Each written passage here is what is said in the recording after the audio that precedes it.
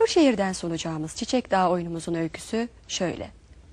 Kırşehirli delikanlı ve yavuklusu ağadan kaçarlar. Çünkü ağa kıza göz koymuştur.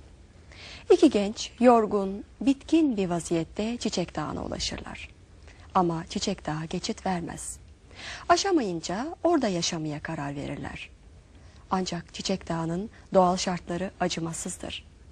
Nitekim genç kız fırtınalı bir günde kayalardan aşağı düşerek ölür.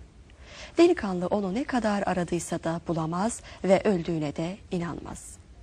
O günden sonra dağla, taşla, kurtla, kuşla sevdiği diye konuşur olur. Yer yer de türküler söyler.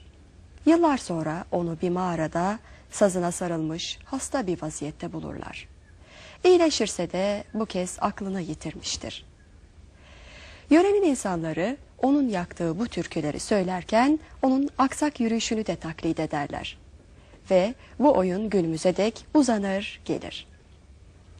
Bir dahaki programımızda buluşmak dileğiyle her şey gönlünüzce olsun diyoruz sevgili seyirciler. Hoşçakalın.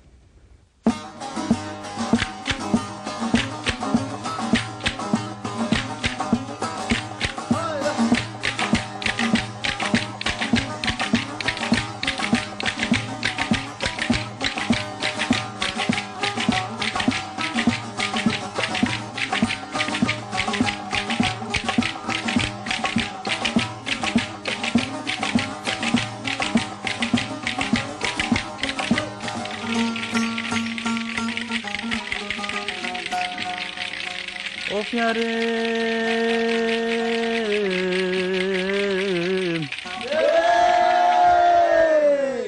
Çiçek dağ derlerde var mı sana zararım?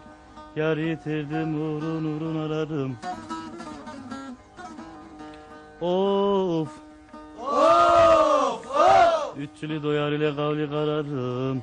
Dört yıl oldu gelmedi yar Anadan belli Yine mi ben yandım Sana vardım han değil Bendereksiz can değil. Bugün ben yar gördüm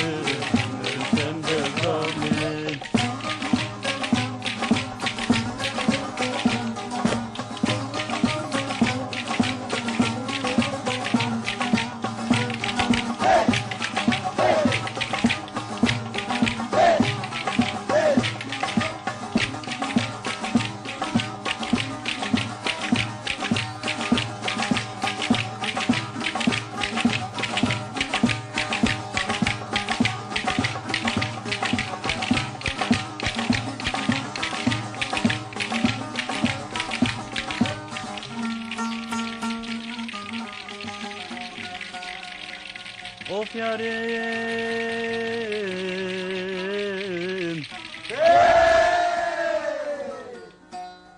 Kekliğin kayadan sekti sekiş.